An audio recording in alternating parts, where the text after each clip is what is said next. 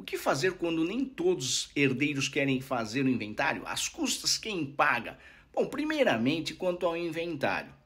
Não é necessário que todos os herdeiros tenham concordância para entrar com o inventário.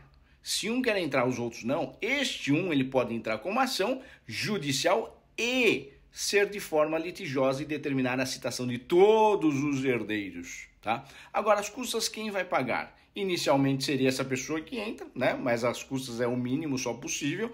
Depois que sim fizer as primeiras declarações, o juiz vai pedir para recolher o valor das custas com referência aos bens. No entanto, é possível requerer alvará para extrair dinheiro da conta do espólio para pagamento de custas ou até alvará para vender algum bem para pagar as custas certo? Mas vai depender realmente de cada situação.